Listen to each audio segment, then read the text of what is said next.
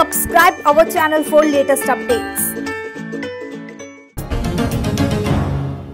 ਸੁੱਚਾ ਸਿੰਘ ਲੰਗਾ ਤੇ ਬਲਾਤਕਾਰ ਦਾ ਮਾਮਲਾ ਦਰਜ ਹੋਣ ਤੋਂ ਬਾਅਦ ਉਸ ਦੀ ਵੀਡੀਓ ਸੋਸ਼ਲ ਮੀਡੀਆ ਤੇ ਵਾਇਰਲ ਹੋਈ ਸੀ, ਜਿਸ ਕਾਰਨ ਵਿਰੋਧੀ ਪਾਰਟੀਆਂ ਲਗਾਤਾਰ ਅਕਾਲੀ ਦਲ ਨੂੰ ਘੇਰਨ ਤੇ ਲੱਗੀਆਂ ਹੋਈਆਂ ਨੇ ਇਸ ਦੌਰਾਨ ਨਵਜੋਤ ਸਿੰਘ ਸਿੱਧੂ ਨੇ ਚੰਡੀਗੜ੍ਹ 'ਚ ਪ੍ਰੈਸ ਕਾਨਫਰੰਸ ਦੌਰਾਨ ਅਕਾਲੀ ਦਲ ਨੂੰ ਆੜੇ ਹੱਥ ਲਿਆ ਤੇ ਲੰਗਾ ਦੇ ਮਾਮਲੇ ਤੇ ਟਿੱਪਣੀ ਕਰਦੇ ਹੋਏ ਬੋਲੇ ਕਿ ਇਹਨਾਂ ਘਟੀਆ ਲੋਕਾਂ ਦੇ ਕਾਰਨ ਸਿੱਖ ਪੰਥ ਤੇ ਵੱਡਾ ਧੱਬਾ ਲੱਗਿਆ ਹੁਣ ਨੀਲੀਆਂ ਪੱਗਾਂ ਬੰਨਣ ਵਾਲਿਆਂ ਤੇ ਨੀਲੀਆਂ ਫਿਲਮਾਂ ਬਣਨ ਲੱਗ ਗਈਆਂ ਨੇ। ਸਭ ਤੋਂ ਵੱਧ ਸਰਚ ਜਿਹੜੀ ਹੈ, ਉਹ ਲੰਗਾ ਸਾਹਿਬ ਦੀ ਹੋ ਰਹੀ ਹੈ ਗੂਗਲ ਦੇ ਉੱਤੇ। ਵਾਹ!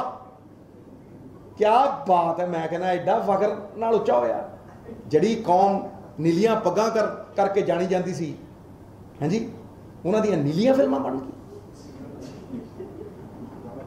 ਹਾਂਜੀ? ਕਿੱਡੀ ਫਖਰ ਦੀ ਗੱਲ ਹੈ ਉਹ। ਹਾਂਜੀ? ਇਹ ਪਛਾਣ ਹੈ ਸਾਡੀ, ਗੁਰੂ ਗੋਬਿੰਦ ਸਿੰਘ ਦੀ ਦਿੱਤੀ ਸਰ। ਹੈ, ਸਰ? ਇਹ ਦਾਗ ਲੱਗੇ ਹੈ। ਮਤਲਬ ਬਹੁਤ ਵੱਡੇ ਸੀਰੀਅਸ ਦਾਗ ਲੱਗੇ ਹੈ, ਸਰ। ਤੁਸੀਂ ਸੋਚੋ ਕਿ ਤੁਹਾਡਾ ਜਿਹੜਾ ਇਲੈਕਸ਼ਨ ਇੰਚਾਰਜ ਹੈ, ਉਹ ਭਗੌੜਾ ਹੋ ਜੇ।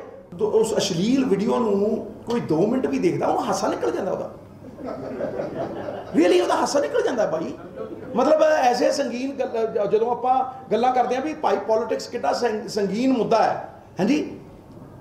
ਹਾਸਾ ਨਿਕਲ ਜਾਂਦਾ ਆਦਮੀ ਦਾ। It's a funny funny thing you can't ਮਤਲਬ ਕਹਿੰਦਾ ਜੀ ਮੇਰਾ ਮੇਰਾ ਤਾਂ ਸਿਰਫ ਸਿਰ ਲਾਇਆ ਤੇ ਢਿੱਡ ਕਿਹਦਾ? Bureau report, channel Punjab news.